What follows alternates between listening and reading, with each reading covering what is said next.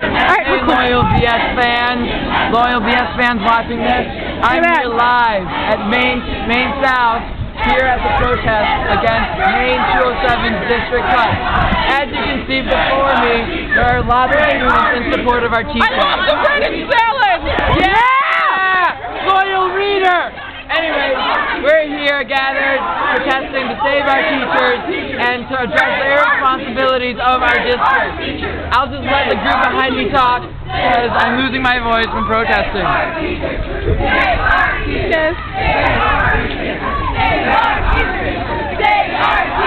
So as you can see, we've got great support and we hope that the board can bring back our teachers and address their irresponsibilities in dealing with the money.